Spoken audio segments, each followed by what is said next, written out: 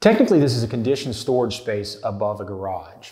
Nobody should be sleeping up here, but because there is a stairwell leading up to it, there's the chance that somebody might be sleeping up here, especially since it's heated and cooled.